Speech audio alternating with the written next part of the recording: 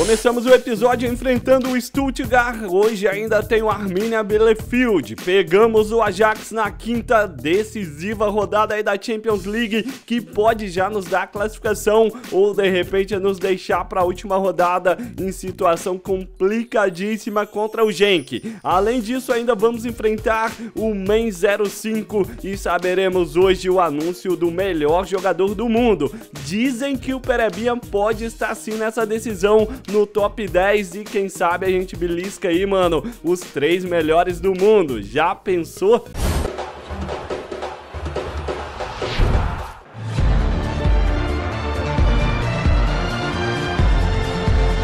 Fala aí molecada, Geração Gamer na parada, chegando com mais um episódio do Perebinha, o de número 60, passa muito rápido né não? Mais de um episódio na média, porque a gente já iniciou essa série aí com menos de 60 dias, é uma frequência absurda, vocês seguem batendo a sequência de likes, a meta de likes, vai lá mano, detona o dedão do like e se é novo, seja muito bem-vindo, se inscreve, ativa o sininho, Perebinha no aquecimento para encarar o Stuttgart. Só vamos, a fase tá ficando boa, ele decidiu no último episódio e bora ver agora. Me siga lá no Instagram também e confiram Geração Gamer 2, em breve séries inéditas por lá. Já vem o time na primeira bola de ataque. Perebinha pediu o lançamento, demorou, vem bola, balançou a rede. Vai dar gol, impedimento. Vamos ver, é gol, mano. Gol do Bayern Leverkusen. Eu poderia jurar que ele estava na linha de impedimento. E esse lance o VAR vai ter que checar. Bora ver então se realmente foi impedimento ou ele tava na posição legal. Olha só o lançamento. Mano, cara, velho, muito difícil. Muito difícil de ver. Nessa câmera aqui, ó, vai dar pra ver direitinho o momento exato. Aí o toque, cara, mano, mano do céu. Aquele doido ali deu condição, ó. Ele deu condição pro Perebinha. Ele já recebeu batendo pro gol de primeira. 1 a 0. Dando sequência aí, início do segundo tempo. Perebinha pedindo pra tocar de coice. Botou ela no papu. A gente passou na medida. Olha o domínio. Mandou na área. O gol não acontece.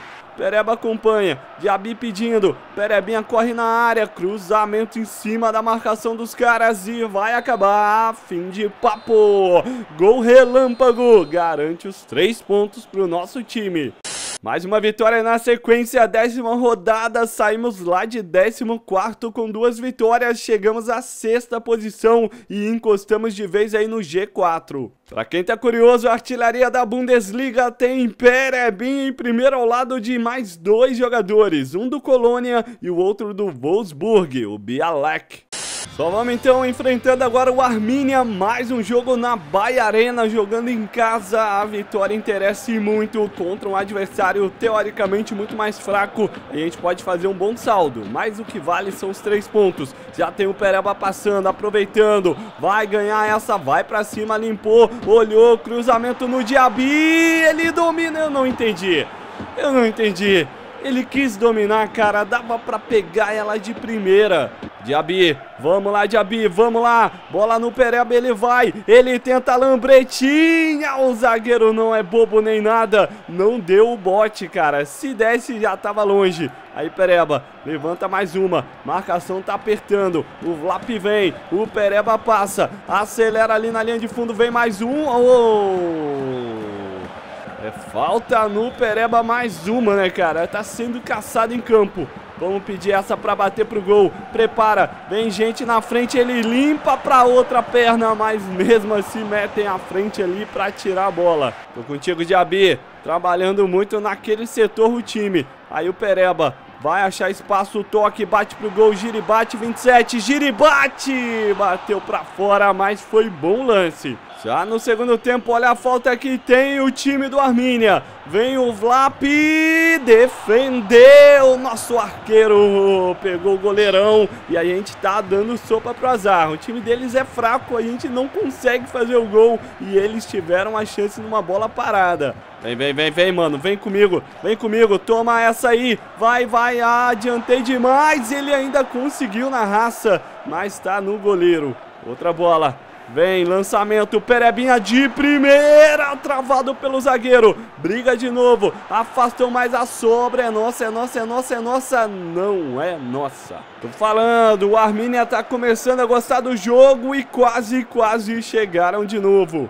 Tá sendo um tropeço, cara. O time empatar em casa contra o Armínia. Bola lançada no Pereba, tentou chegar, a marcação aperta. Ele gira, quem vem, quem vem? O toque, ah, mano, é no 10 e não lá no Papo Gomes. Afastam, é nossa ainda, mano. Manda rasteiro, rasante. Vamos, Pereba, no Papu. Passei, Papu. Boa bola, Pereba encara, limpa jogada. Olhou, bateu, tira com o pé. Papu de novo, aí o Pereba, travado mais uma. Volta a jogada ainda, tá com o Bayer. É pressão, é último lance, provavelmente. Pereba encosta, Diaby tá livre. A bola era nele. Voltou no 10, sobrou.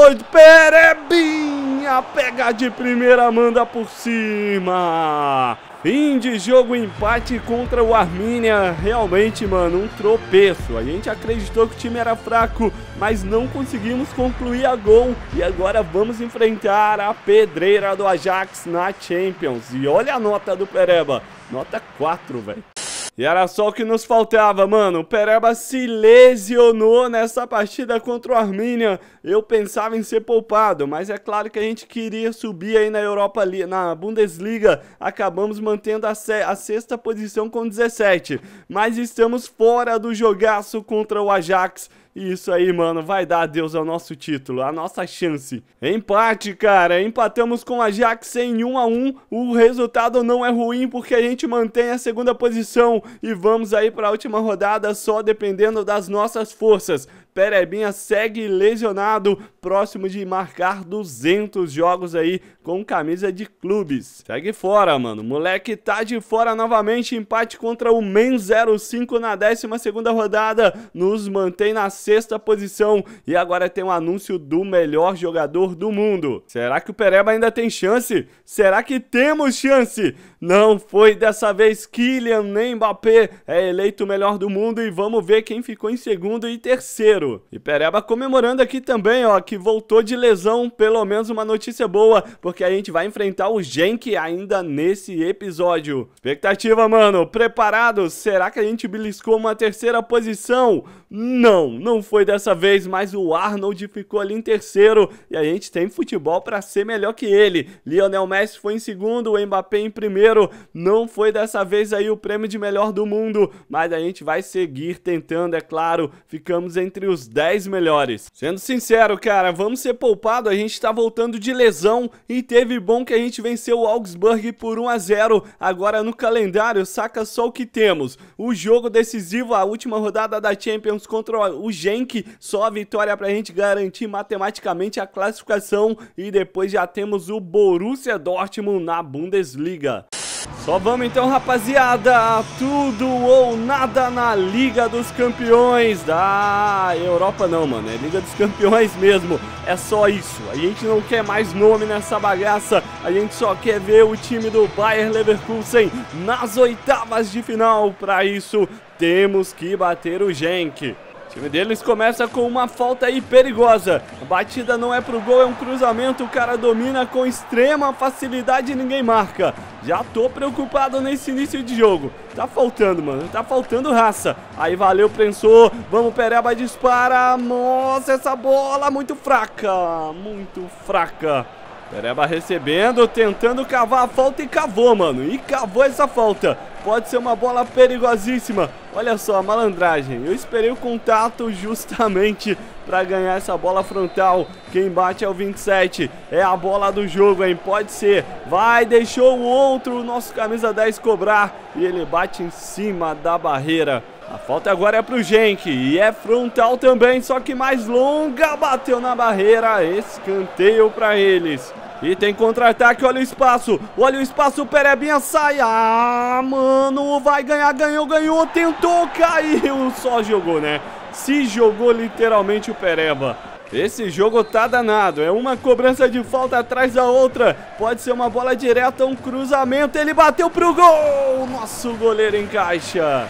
Pereba, bom de cabeça, parou ali. E não vamos correr que não adianta. O Diaby levantou pro 27 mandar por cima. Gente tá gostando demais do jogo, estão jogando em casa, estão aproveitando o apoio da torcida. Bateu pro gol, só errou a mira. Primeiro tempo acabou, olha o show, mano. Seis finalizações deles contra apenas duas do nosso time. Temos que melhorar muito. Ganha time, aparece o jogo, tem boa bola ali, Perebinha acompanha, tá passando livre, é só rolar, rolou, bateu de primeira em cima do lance, o zagueiro tira.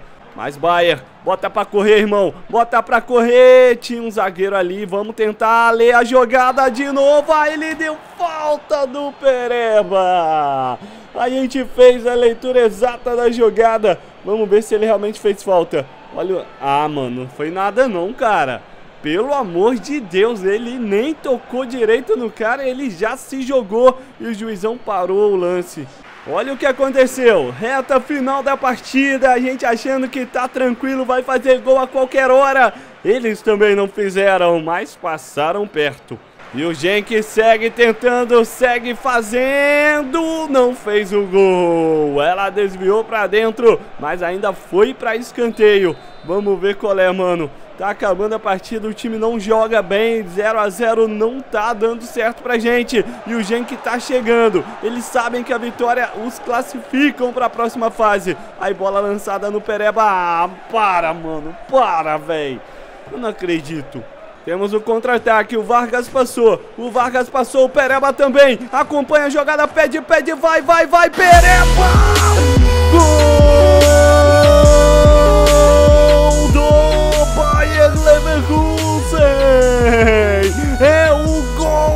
Classificação. É o gol do desafogo. É o gol do respiro. É o gol da salvação. Se estica todo, mergulha na bola. Faz um gol que é feio, mas que para as nossas pretensões é o gol mais lindo da temporada.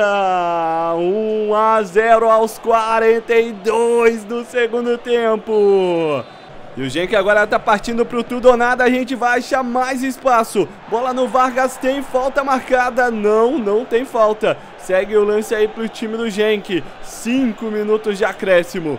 É hora de voltar, hein? A gente vai ter que ajudar ali na defesa. O Itu tá com a bola. Dá o bote, mano. Dá o bote. Perebinha. Perebinha vai ter que chegar. O cara não chega. Vai no carrinho. Vai tentando. Pereba. Boa. Buscou essa. Bate pro meio. Vai bater. Ele não consegue. Foi desarmado. Ainda com o Genk. Ângelo. Ângelo tenta. Pereba aperta. Pereba na bola. Melhor que qualquer zagueiro. Fim de jogo. Na Bacia das Almas. No sufoco total. O Pereba marca no finalzinho do jogo e garante a nossa classificação para as oitavas de final da Champions League.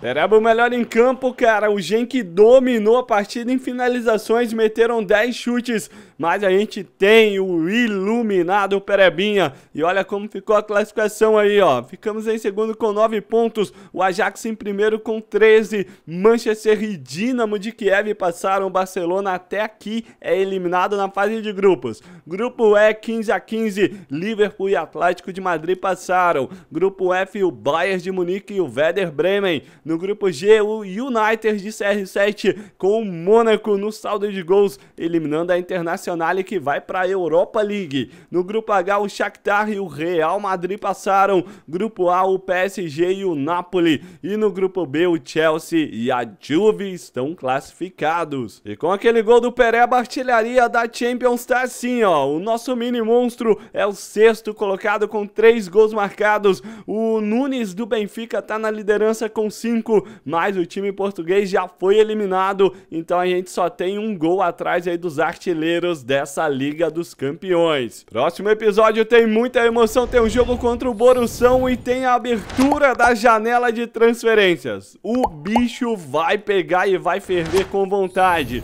Tamo junto e até lá!